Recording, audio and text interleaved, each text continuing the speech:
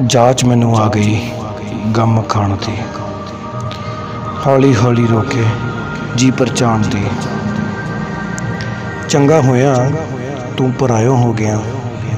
ਮੁੱਕ ਗਈ ਚਿੰਤਾ ਤੈਨੂੰ ਅਪਣਾਉਣ ਦੀ।